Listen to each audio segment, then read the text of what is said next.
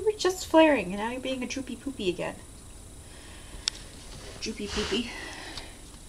He has decided in his old age that he does not like the camera. Fine.